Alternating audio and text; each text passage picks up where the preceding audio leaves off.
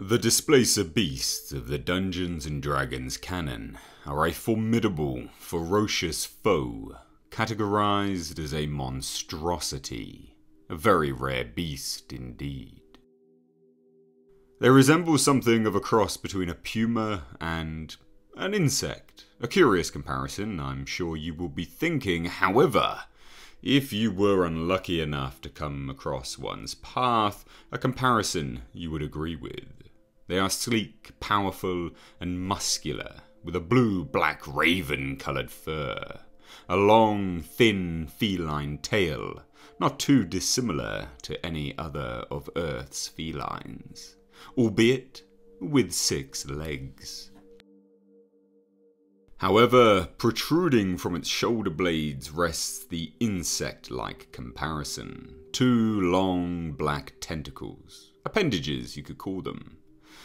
The Displacer Beast is a truly worthy foe, just taking those attributes into account. However, the tentacles are more than simply tentacles. They have a broad tip, and embedded within are brownish yellow horn like structures they use to combat their prey and as a defensive mechanism. The Displacer Beast is a monster of a cat, an average of 9 feet long and weighing in at a whopping 500 pounds. This is not a cat to willfully come across, unless you possess the fortitude to face it. Some males have been recorded at 12 feet long, with females typically around 8 feet long.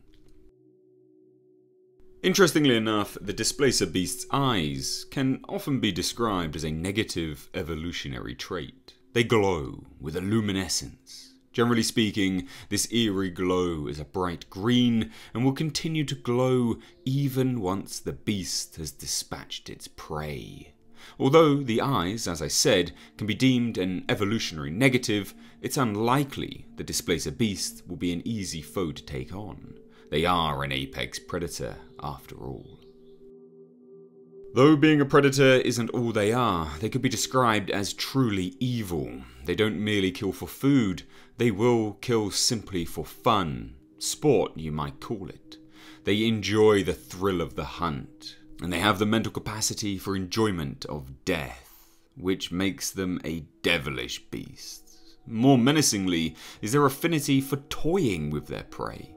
Those that they do wish to eat, they will play with, toy with, inflicting pain on, ripping at parts of their flesh and bones, until of course they are ready to devour them, dragging the body of their prey to a secluded spot so they may feast on your flesh uninterrupted. And as previously mentioned, the Displacer Beast is only a beast by name and not cognitive ability. They are highly intelligent. They have been known to avoid heavily armoured targets in favour of their weakly defended allies. So take note, weary warriors. If they see a more favourable target, an easier target, you will be dinner. They have a keen tactical awareness of group positioning, so don't think you will be able to outflank them. And if you are unlucky enough to come across one, you will need to keep note of their ability of being in a continuous displacement. This causes them to always appear to be a few feet away from their actual location. It's essentially a supernatural illusion effect, a form of light bending that the beast uses to get the better of its prey.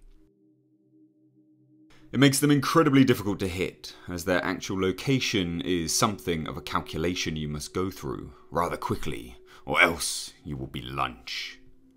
The actual displacement effect is believed to be a functioning of subtle vibrations being emitted from the outer layer of skin. As the vibrations occur, the skin refracts light around the beast and provides this illusion. Whether the beast can do this consciously isn't actually known. It's thought that it's an automatic ability, a subconscious one.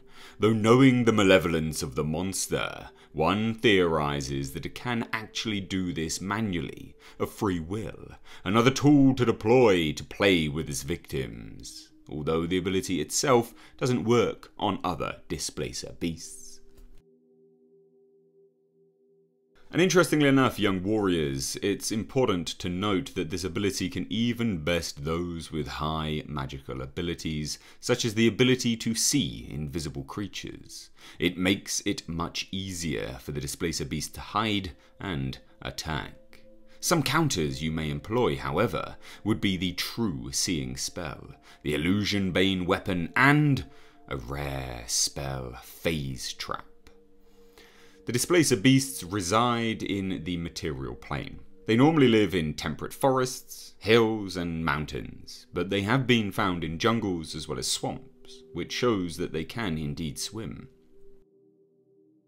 A displacer beast lair is generally a humid cave system, and they will often establish breeding grounds within these locations. You'll know if you've been unlucky enough to find one, as the stench is unbearable for a human. The floor will be littered with feces, animal bones, and rotting meat. You'll see the stain of the blood of its victims and a white dust of crushed bones.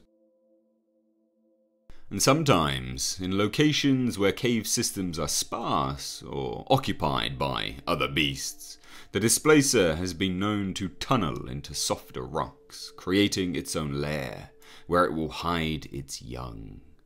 The life cycle of the displacer beast is not a particularly unusual one. They form mating pairs, and mating season is in the autumn, and this typically provides a litter of around one to four cubs the next spring. The parents are protective, much like other mammalians. However, the displacer beasts take it a step further and will go to great lengths to provide a safe nest for their cubs while they mature and grow. One parent will always be with the cubs, whilst the other hunts, scouts, or defends their nest. And this is really important, as when the cubs are born, they are about the same size as a domestic cat, which, when you recall the size potential of the displacer beast, they have some growing to do. The eyes are open from birth, however, the tentacles are not present potentially due to the pregnancy and an evolutionary trait so as not to provide too many complications during the birth. Sadly, the displacer beasts have an unusually high rate of mutated offspring. This is due to their unusual and supernatural physiology.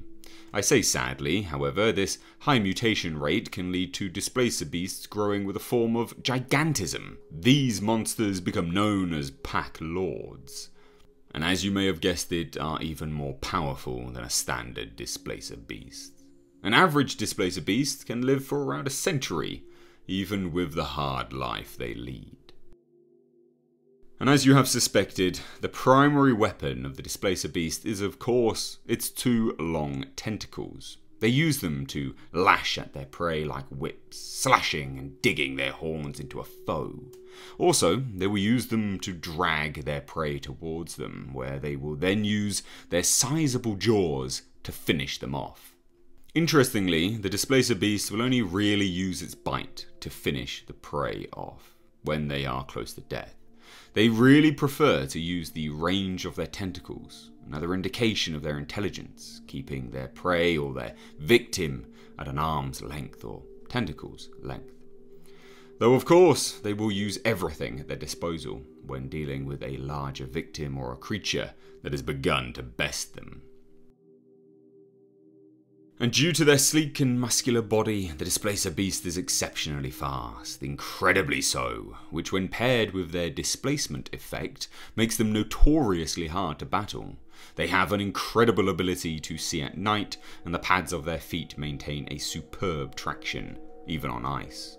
They have a fantastic resistance against noxious attacks such as Quicksilver or Mercury. So take note, young warrior, they are not to be trifled with. And the origin of the Displacer Beast is an interesting one. They originated in the Feywild. They were fierce predators until they were tamed by the warriors of the Unseelie Court. These warriors would selectively breed the species, making them as ferocious as possible, choosing the most malevolent beasts and ensuring they would breed these traits into the future of the species. They would use them as simple hunting animals, which seems a waste of their abilities, if you ask me. They were used to take down unicorns and pegasi.